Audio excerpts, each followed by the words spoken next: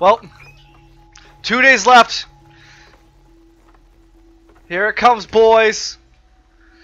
On the eve of the great championship, you reflect on the Ludus and the exploits of the past year. It matters not, however.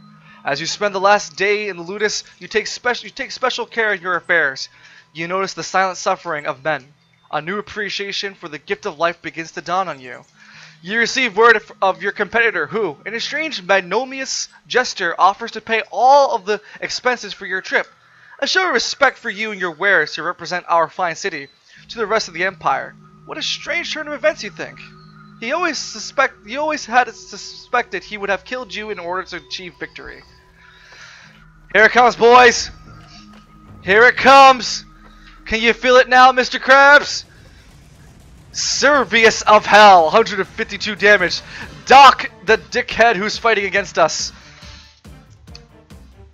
Nightbot is against us. And all these guys average around 90 to 100 damage. And we throw every motherfucker in the fray. My grandma fights better than you. Alright, boys. You call yourself a gladiator? I can't. I. Oh dear God, we're winning! Crimson's still alive!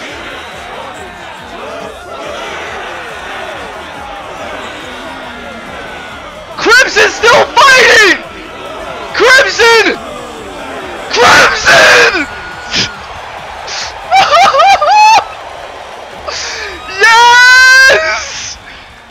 the golden